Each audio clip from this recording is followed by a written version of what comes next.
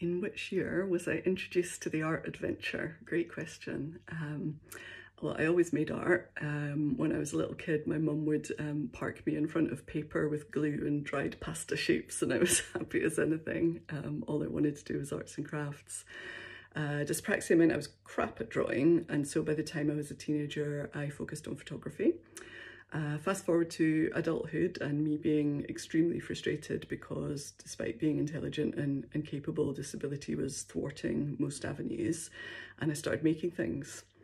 I eventually professionalised through funding from disability arts organisations. Um, so I suppose I've been calling myself an artist since before 2010, uh, but being funded and professionalised a lot less long and I'm still kind of in the bracket of, of what the art world condescendingly terms a, an outsider artist in that I don't have an art degree, I'm disabled and I'm largely funded by Disability Arts.